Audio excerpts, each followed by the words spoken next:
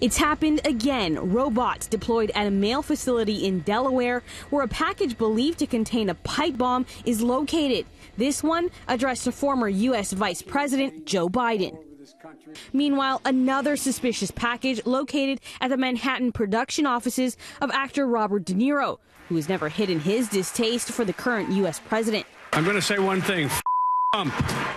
Both packages are reportedly similar to the ones sent to prominent Democrats on Wednesday. The hunt for the suspect or suspects continues.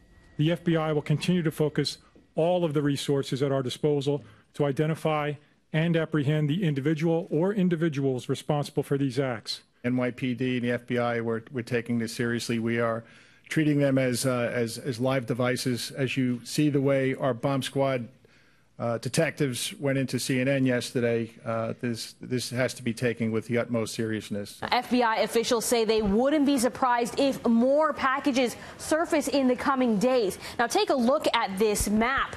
All of the recipients have ties to the Democrats, and all are outspoken critics of Donald Trump.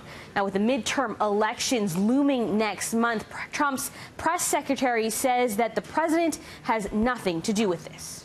The president is certainly not responsible for sending suspicious packages to someone no more than Bernie Sanders was responsible for a supporter of his shooting up a Republican baseball field practice last year. The idea that this is at the hands of the president is absolutely ridiculous.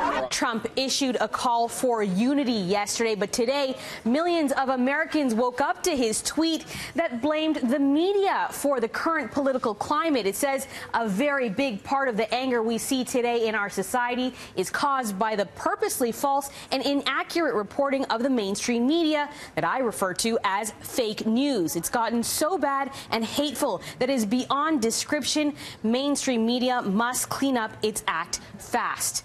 Now, the pipe bomb that was sent to CNN's New York bureau was addressed to John Brennan. The former CIA director was quick to address Trump's tweets. He said, Stop blaming others. Look in the mirror. Your inflammatory rhetoric, insults, lies, and encouragement of physical violence are disgraceful. Clean up your act. Try to act presidential. The American people deserve much better. By the way, your critics will not be intimidated into silence.